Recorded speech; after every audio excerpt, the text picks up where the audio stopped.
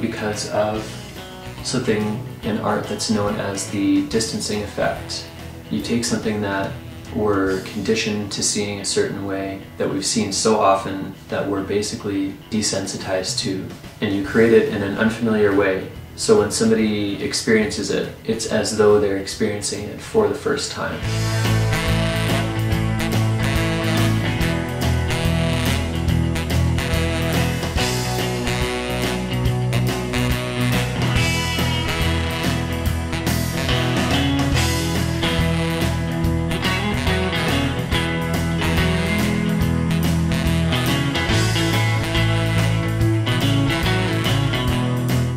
So when I set up in a public space and cook the food, the fact that people eat it makes it uh, such a, a, more deeply felt experience. Uh, it surprisingly tastes exactly like full-size food.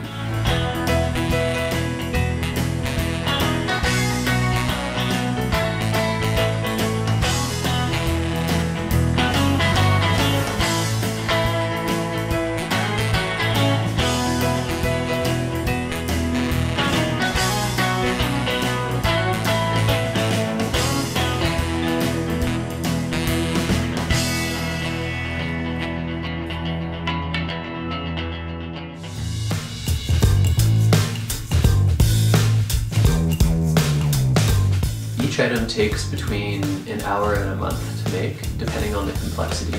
Something like this pot, which is made from a plumbing fitting, might take between one to three hours. This meat grinder, which has 13 separate parts, can take up to a month to make.